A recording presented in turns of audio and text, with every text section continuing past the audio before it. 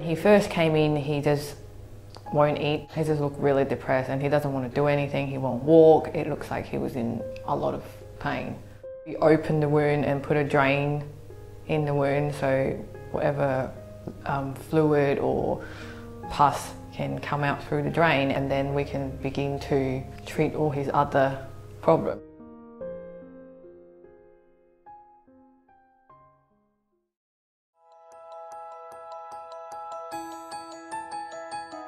And I saw this little dog uh, sitting in a, what looked like a very big kennel. He didn't look very happy with himself. He looked a little bit um, down, uh, a bit injured.